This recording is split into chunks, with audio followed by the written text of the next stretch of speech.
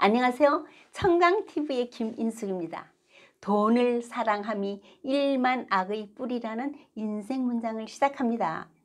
한 유대인 아이가 아버지에게 아빠 돈이 뭐예요 하니 아버지는 잘 봐라 하면서 유리 조각을 집어서 창문 앞에 놓았습니다.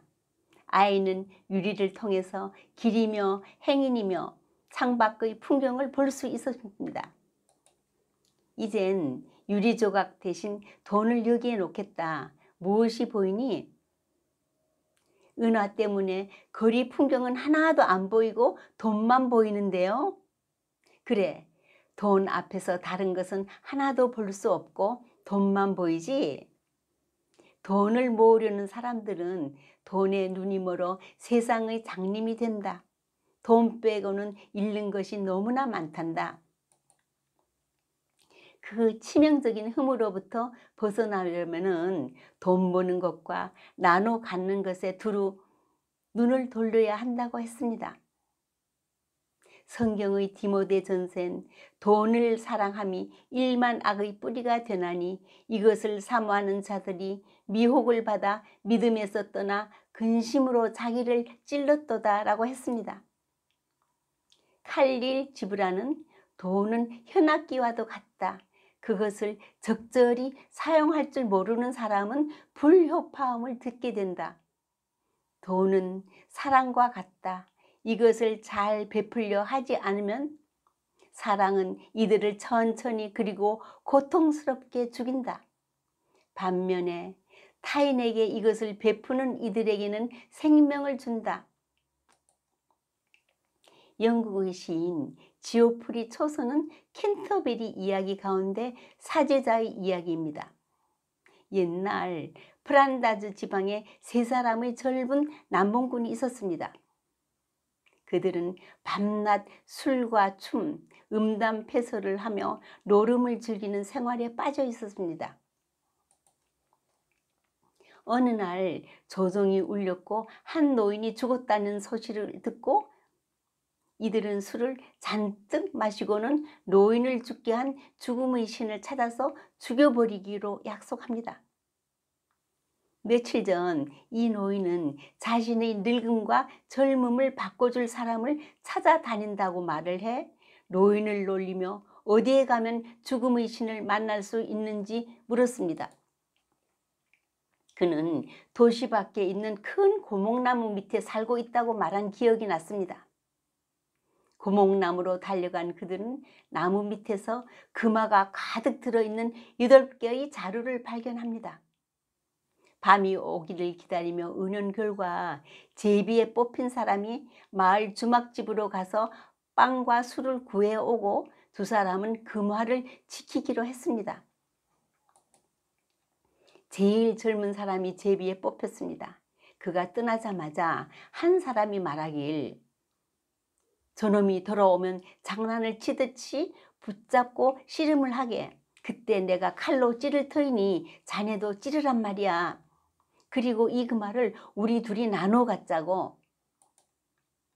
한편 빵과 술을 구하러 갔던 젊은 남봉꾼은 생각하길 저 반짝이고 아름다운 금화를 나 혼자 차지한다면 하늘 아래 누가 나보다 행복하랴.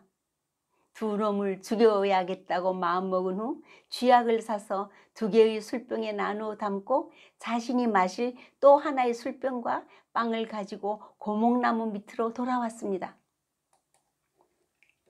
더 이상 이야기를 할 필요가 있겠습니까? 기다리던 두 사람은 계획대로 그를 찔러 죽였습니다.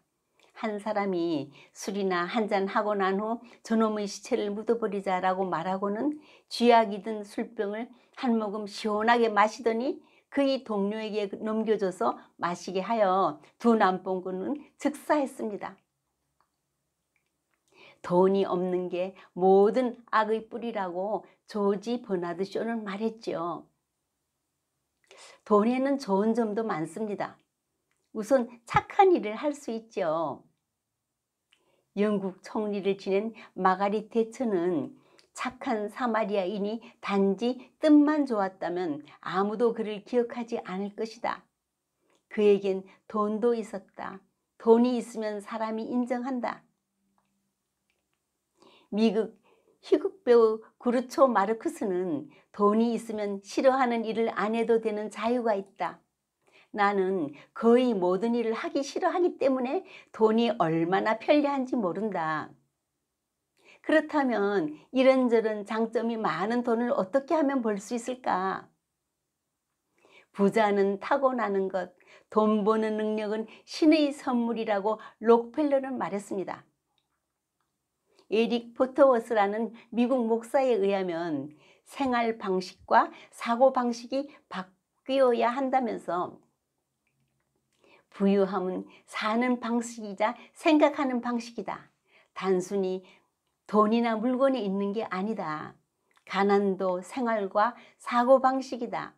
단순히 돈이나 물건에 없는 것이 아니다라고 했습니다.